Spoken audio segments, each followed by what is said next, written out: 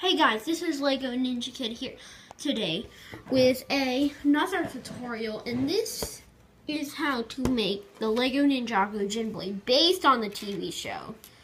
It's not like the ones that come in the sets, but if if you want to make this, you the sets you might have to get is one of the new um some not summer 2016, but like the recent 2016, the Skybound set. So yeah, what you'll need, sorry guys, just started going off, is one of these green transparent one by ones flat studs.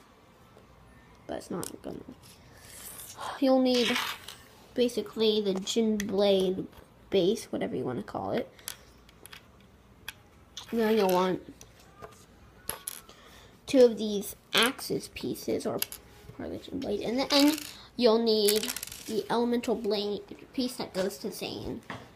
So this might be a short tutorial for you guys, but I just decided to do it. So first you take um, the djinn blade piece and hang on guys the little green piece and put that together like that and you'll want to take the knight pieces the knight little axe pieces I, I think they were originally used in like Lego castle sets maybe I, I can't remember I don't know my Lego history very well and you put them on the sides and then you take the Zane elemental blade piece you'll have to get a set that comes with Zane to get it, like there, Jitsu. And there you go. Let me bring my fig over here. You know this guy. Everything does. There we go. And that is the Djinn Blade based on the Lego Ninjago TV series. I mean, I was watching it on YouTube, cause, and I've been watching the episode that came out in the U.S.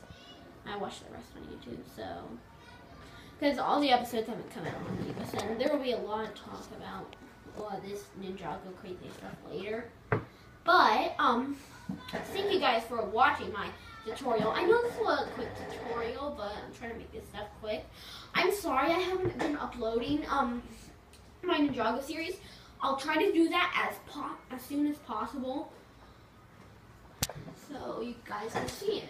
Cause I know it might be short season. I'm just saying. But I'll talk to you guys later. Goodbye.